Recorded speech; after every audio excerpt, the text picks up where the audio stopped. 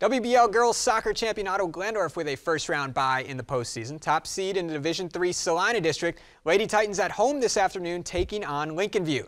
Lady Lancers advancing with an 8-0 win over Crestview on Tuesday. Titans up 1-0 early. Lancers trying to keep it that way. Hannah McCleary able to get to the back and clear it away for the team in blue. Then the Lancer keeper Julia Thatcher, nice diving save.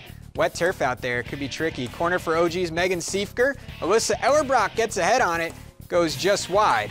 Then in the 16th minutes, Titans Alex Verhoff draws the keeper out and slides it past 2 to nothing OG. They roll in this one 10 to nothing and advance on to districts.